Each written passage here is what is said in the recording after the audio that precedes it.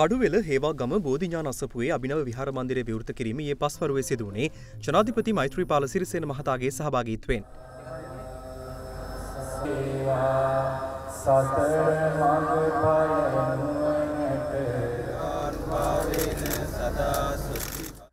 අභිනව විහාර මන්දිරය විවෘත කළ ජනාධිපතිවරයා ධාතු මන්දිරය වෙත ගොස් ආගමික වතාවත් වන නිරත වුණා. මහා සංඝරත්නය මෙන්ම අමාත්‍යවරුන් වන විජේදාස රාජපක්ෂ පාටලී චම්පික රණමක යන මහත්වරුන් ඇතුළු පිරිසක් මෙම අවස්ථාවට එක්ව සිටියා.